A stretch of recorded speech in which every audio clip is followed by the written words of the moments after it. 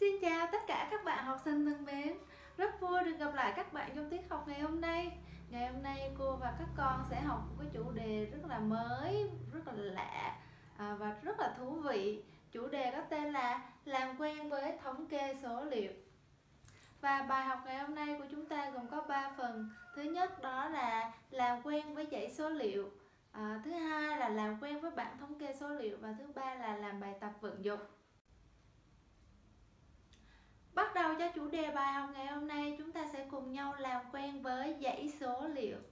Cô có bốn bạn học sinh Anh, Phong, Ngân và Minh và sau khi đo chiều cao của bốn bạn thì cô có các số đo như sau.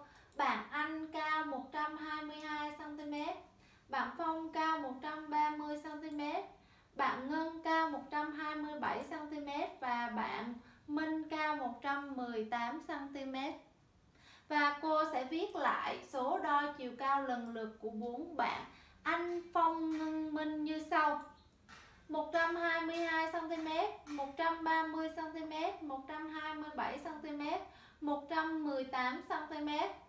Vậy khi cô viết các số đo chiều cao của các bạn theo hàng ngang như thế này thì trong toán học người ta gọi là gì các con biết không nào? À, trong toán học người ta gọi đây là dãy số liệu. Và nhìn vào dãy số liệu này, các con biết được dãy số liệu này có bao nhiêu số không nào?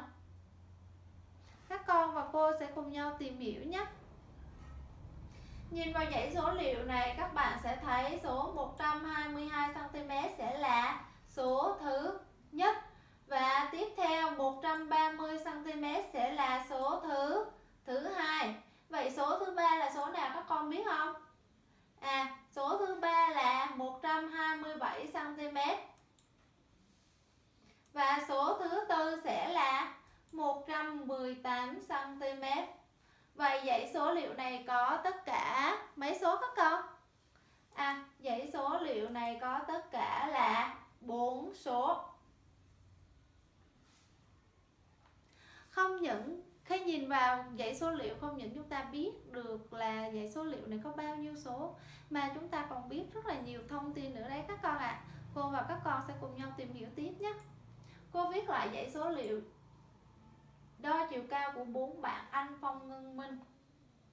Và yêu cầu đầu tiên của cô đó là sắp xếp tên các bạn theo thứ tự. Chiều cao từ thấp đến cao. Vậy để xếp các bạn theo thứ tự từ thấp đến cao thì chúng ta sẽ nhìn vào số liệu chiều cao của các bạn. Mình sẽ tìm số đo nào nhỏ nhất. Khi nhìn vào dãy số liệu này, các bạn thấy số nhỏ nhất là số nào không? Nhìn được không nào À số nhỏ nhất đó là số 118 cm.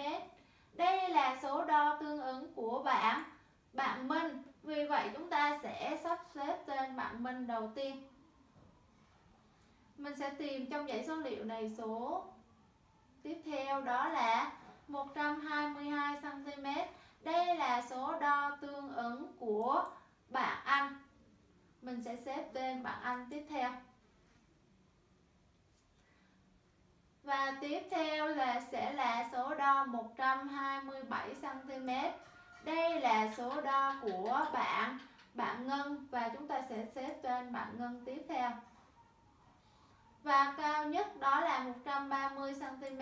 Đây là số đo của bạn. Bạn Phong chúng ta sẽ viết bạn Phong cuối cùng. À, đây là cách sắp xếp tên của các bạn theo thứ tự chiều cao từ thấp đến cao.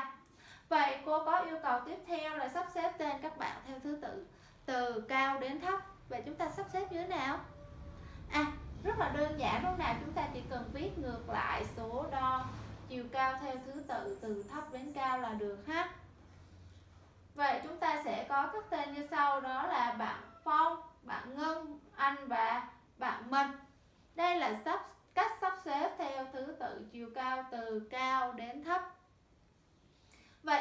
mình sắp xếp xong như thế này, các bạn đoán được ai là bạn bạn nào là bạn cao nhất không nào?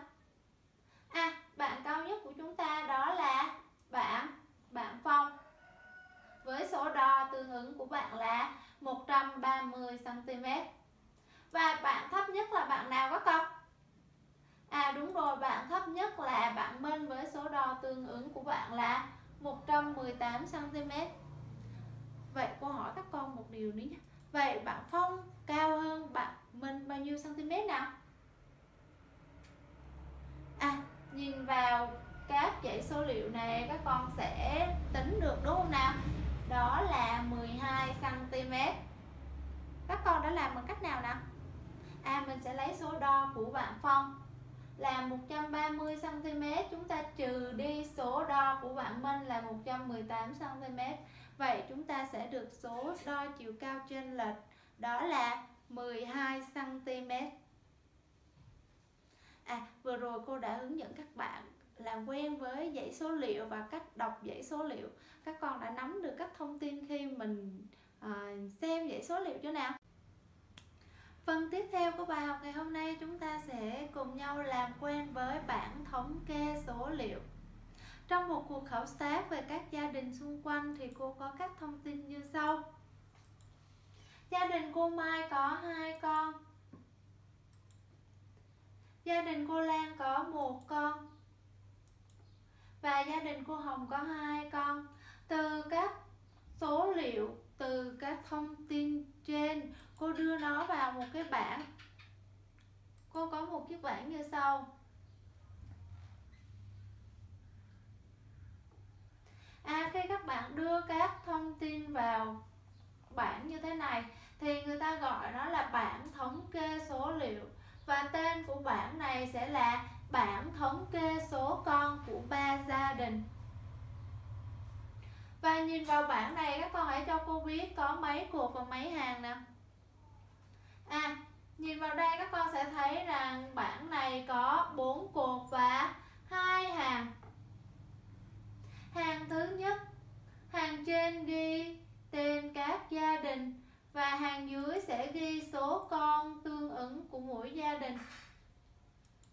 Và nhìn vào bảng thống kê số liệu trên các con hãy cho cô biết tên của các gia đình được ghi trong bảng này là gì nào? À nhìn vào bảng trên ta có thể biết được ba gia đình được ghi trong bảng đó là gia đình cô Mai, gia đình cô Lan và gia đình cô cô Hồng. Vậy cho cô biết nhà cô Mai có mấy con? Chúng ta sẽ nhìn vào bảng và chúng ta sẽ thấy rằng gia đình cô Mai có hai con. Gia đình cô Lan có mấy người con nào? À nhìn vào đây các con sẽ biết rằng gia đình cô Lan có một người con. Còn gia đình cô Hồng thì sao? Nhìn vào đây các con sẽ thấy rằng gia đình cô Hồng có hai người con Cô vừa giới thiệu xong với các bạn đó là bảng thống kê số liệu và cách đọc bảng thống kê. Từ những kiến thức cô vừa mới hướng dẫn các bạn à, về dãy số liệu và thống kê số liệu, các con hãy áp dụng vào để làm bài tập vận dụng nhé. Chúc các con thật chăm ngoan và học thật giỏi. Hẹn gặp các con vào bài học ngày hôm sau.